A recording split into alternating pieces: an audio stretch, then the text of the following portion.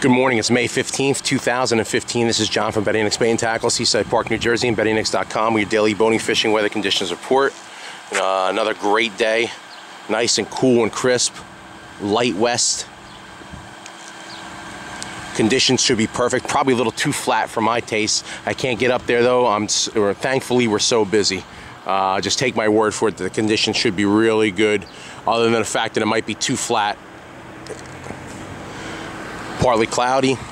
Uh, I had one customer this morning said they got a uh, bluefish on SPs real good in the dark right up the street from us. They were trying for bass, but all they could get was bluefish. Just got to get out there.